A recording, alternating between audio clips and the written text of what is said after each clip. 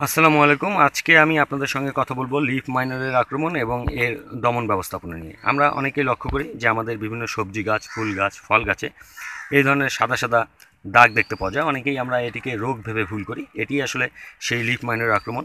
Leaf minor যেটি করে, তারা পাতার নিচে, সবুজ অংশের নিচে তারা ডিম পেড়ে দিয়ে যায়। এরপরে সেই ডিম থেকে কীরা উৎপন্ন হয় এবং সেই কীরাটি আস্তে আস্তে সবুজ যে ক্রোফিলটি সেটি খেতে থাকে এবং সামনের দিকে এগুতে থাকে। এর ফলে দেখা যায় যে সেখানে একটি সাদা আঁকা বাঁকা ম্যাপের মতো দাগ তৈরি হয়। ম্যাপের মতো দাগ তৈরি হওয়ার জন্য এটিকে আমরা অনেকেই ম্যাপ পোকাও বলে থাকে। আমরা যদি সেই পাতাটির দিকে ভালোভাবে খেয়াল করি তাহলে আমরা দেখব যে সেখানে যেই দাগটি রয়েছে, সেই দাগের শেষের অংশে মাঝে মাঝে এই ধরনের হলুদ কিছু অংশ দেখতে পাওয়া যায়। এই ধরনের হলুদ হলুদ কিছু অংশ দেখতে পাওয়া যায়। এগুলো আসলে সেই লিফ মানের কীরা যেগুলো খেতে খেতে সামনের দিকে এসেছে। আমরা যদি একটি সুচ দিয়ে আমরা এই হলুদ অংশটিকে তোলার চেষ্টা করি, তাহলে আমরা দেখব যে সেই কীরাটি এখান থেকে বের হয়ে এসেছে। আপনারা এখানে ভালোভাবে লক্ষ্য করুন, এখানে এই সেই লিফ মাইনারের কীরা, এটি এখান থেকে খেতে খেতে তারা সামনের দিকে যাচ্ছে। তো এই এই লিফ মাইনারটি দমন অত্যন্ত জরুরি, কারণ এই লিফ মাইনারটি আমাদের যে পাতার যে ক্লোরোফিলটি সেটি খেয়ে ফেলে, ফলে সালোক সংশ্লেষণে বাধা সৃষ্টি হয়।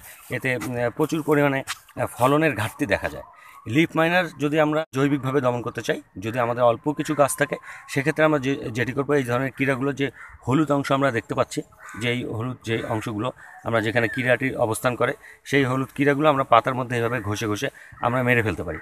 তখন দেখা যাবে যে সেই কীড়াটি মারা যাচ্ছে, ফলে লিফ মাইনারগুলো আর সামনের দিকে যেতে পারছে না। এটি একটি পদ্ধতি। এছাড়াও এর যে মা পোকাটি, যেটি আসলে ডিম পাততে আসে, সেই মা পোকাটিকে আমরা দমনের জন্য আমরা রাতে আলোক ফাঁদের ব্যবস্থা করতে পারি, যেখানে তারা পড়ে মারা যাবে। এবং যদি আমরা রাসায়নিক দমনের ক্ষেত্রে যাই, তাহলে সেখানে আমরা দুই ধরনের কীটনাশকের যে কোনো একটি, যেমন এসিফেট গ্রুপের যে সকল কীটনাশক রয়েছে, আপনারা দেখতে পাচ্ছেন সেই লিস্টটি। এসিফেট গ্রুপের যে কীটনাশক, সেটি আমরা এক লিটার পানিতে এক গ্রাম হারে স্প্রে করতে পারি। এছাড়াও ম্যালাথিয়ন গ্রুপের যে কীটনাশক রয়েছে, সেটি আমরা এক লিটার পানিতে দুই মিলি হারে স্প্রে করতে পারি।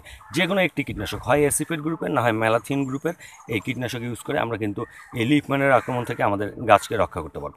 ধন্যবাদ সকলকে, ভালো থাকবেন। আসসালামু আলাইকুম।